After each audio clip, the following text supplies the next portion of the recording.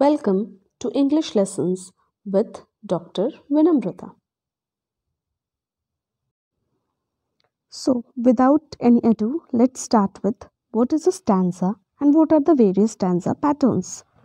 So, in a poetry, group of two or more than two lines are called stanzas, which are clubbed together in the form of some particular metrical pattern or rhyme and rhythm. So these group of lines have these particular structures, the rhythm or the meter that we are talking about, and pertaining to these structures, they are given certain names like there are couplets, quatrains, uh, tercets, three lines tercet, two line couplet, four line quatrain.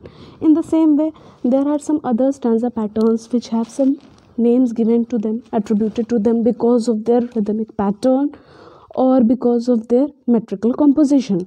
So, in this way, there are n number of stanza patterns which we are going to discuss today in this segment of or in this video of English literature. So, let's begin.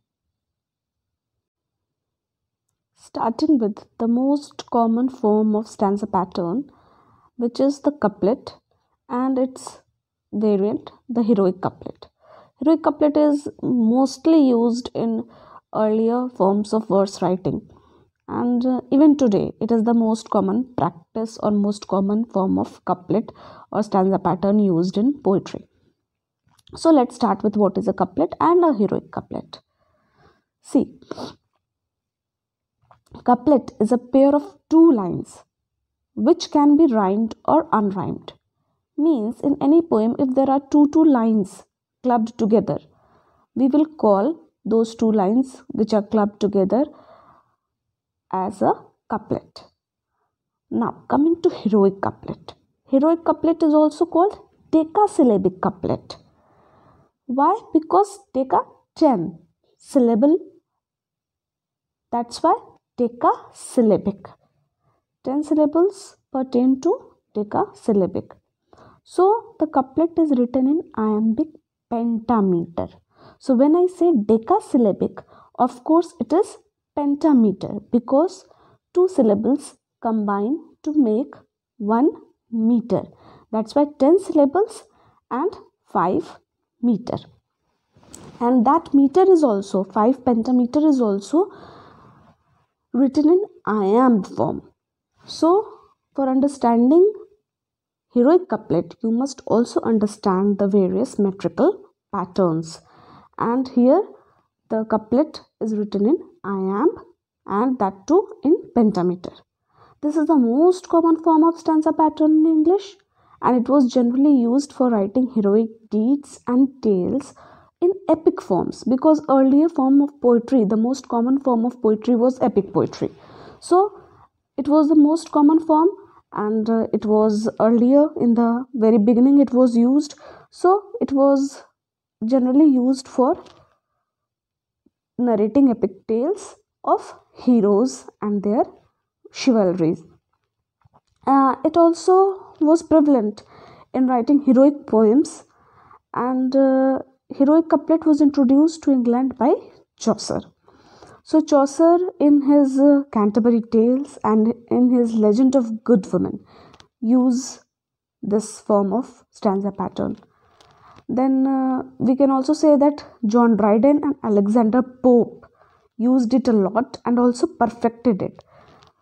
So these are the most famous writers who have made heroic couplet uh, what status it has got today in English literature and uh, this is all about what is a couplet and what is a heroic couplet. Now let's move on to another stanza pattern. Then we move on to the next form of stanza pattern that is terza rima terza rima is a stanza pattern made up of iambic tercets that is three lines each. Now we earlier in heroic couplet we were talking about two lines each now we are talking about three lines each so the stanzas will have three lines but again it is written in iambic and it follows the rhyme scheme of ABA, BCB, CDC, DED. So that should be the rhyme structure of the poem. Then only it will be considered as a terza rima. So see you have rhythmic patterns as well as metrical compositions plus the number of lines together they form making a terza rima. And that's why you see this is an interlocking rhyme scheme because A, B, A and then B goes to the next stanza, B, C, B, then C goes to the next stanza, C, D, C, and then D goes to the next stanza, and so on and so forth. So, this is the basic pattern of terza rima. Now, talking about the examples. It was first used by Dante in his Divine Comedy in 1320, and other Italian poets like Boccaccio and Petrarch used it a lot. It was uh, used by Shelley in his poems Ode to the West Wind and Triumph of Life. Quatrain and heroic quatrain. As the name suggests, quatrain means four. And uh, it is just like couplet and heroic couplet. In couplet, we had two lines, and heroic couplet was two lines written in iambic pentameter here we have the same four lines, most common form of words comprising of four lines each, which can be rhymed or unrhymed, or of various rhyming patterns. But when these four lines are written in iambic pentameter, then it will be called heroic quatrain, just like heroic couplet. And the most common form of it is Gray's elegy written in the country churchyard. The curfew tolls the knell of parting day. So it starts with these lines. And uh, then uh, another variant of this quatrain is ballad stanza. Why ballad stanza is the variant of quatrain form? Because it comprises of lines of iambic tetrameter which alternate with iambic trimeter. So there are four metered lines and three metered lines and they alternate that's why it is also called Chevy Chase stanza. So there is a difference in the pattern of the uh, metrical composition, but it is a variant of quatrain. So four lines which alternate with iambic tetrameter and iambic trimeter lines also called as Chevy Chase stanza and the most famous of this practice is used in Coleridge's Rime of the Ancient Mariner. So next we have Rhyme Royal or which is also called as Chaucerian stanza. Rhyme Royal as the name suggests was uh, first used by King James I of Scotland and that's why because it was used by a royal person that's why rhyme royal name was given to it. Plus chaucer used it a lot that's why chaucerian stanza. It is a seven lined stanza written in iambic pentameter the most common form of metrical pattern that is iambic pentameter. Seven lines and there can be three variations of the rhyme scheme it can be a b a b b c c or a b a b b c c or a b a b b c c in any form, this stanza can be written in all these three forms. And uh, coming to its other details, like Rhyme Royal was named because so because of its used by King James I of Scotland in the 15th century for his famous poem King's Quair. Chaucerian stanza was introduced in England by Chaucer in his poem Troilus and Cressida and he also used it in Parliament of Fowls. Then other writers who have used it is Shakespeare in the Lap of Lucrece or Auden in the Shield of Achilles. So this was about rhyme royal or Chaucerian stanza. Another stanza pattern which is very famous is Ottava rima. As the name suggests, Ottava means eight lined and the rhyme scheme which it follows is AB, AB, AB and CC. It is a very simple form of stanza pattern. Just you have to see that the rhymes lines are followed in this rhythm plus there are eight lines altogether. And of course it has derived from italy. So it is modeled upon the italian works. And the most famous work in english is byron's don juan written in ottava rima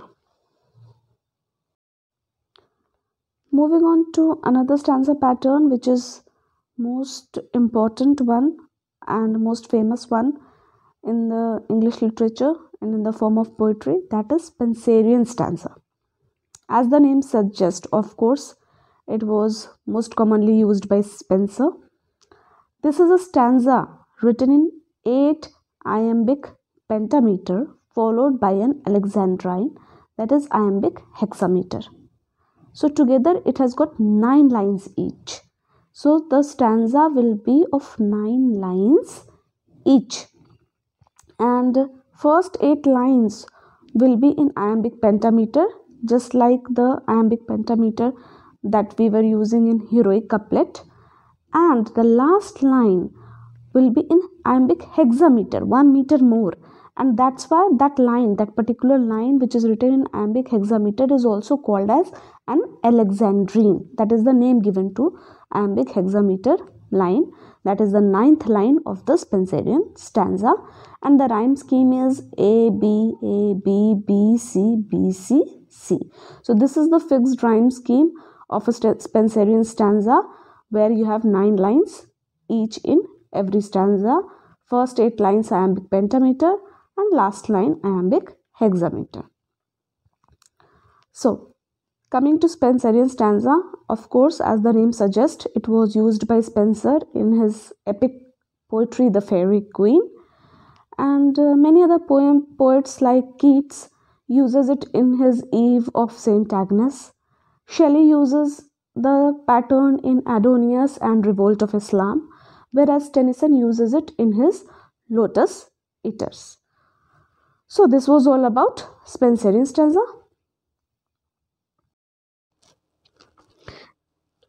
Hence, these were the most important and prominent form of stanza patterns which we discussed today in this video lecture. Not to mention that there are few more like there is sonnet. And uh, for sonnet uh, it would require another whole video lecture. So i would be making another video lecture on what is a sonnet. But for general inquiry it is a 14 line poem and uh, apart from it there can be other variations also according to the whims and fancies of the poet. But the most common and most known and most asked form of stanza patterns have been discussed today in this video lecture. So that was all for today. And i'm sure you all must have understood it. And uh, if yes then please don't forget to like share subscribe and comment. Thank you